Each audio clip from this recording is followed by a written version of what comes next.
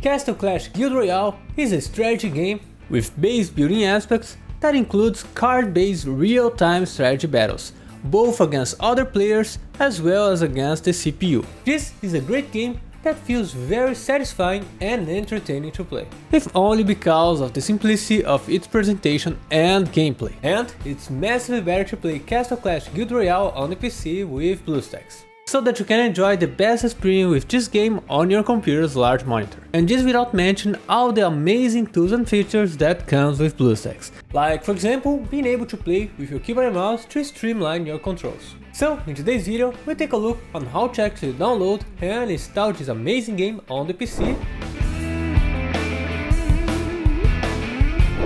To install Castle Clash Guild Royale on your PC, firstly head out to the BlueStacks official website to download and install the latest BlueStacks 5 version on your PC. Now proceed to the installation process and once it's done, you can go to the Play Store to log into your Google account. Here, you must provide your email address and then your password, and proceed to agree on everything that shows up.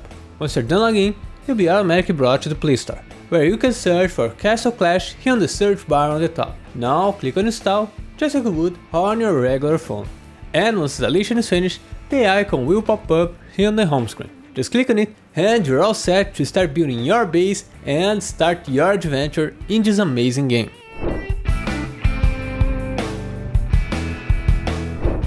The process for installing Castle Clash Guild Royale it's very simple and only takes a few minutes.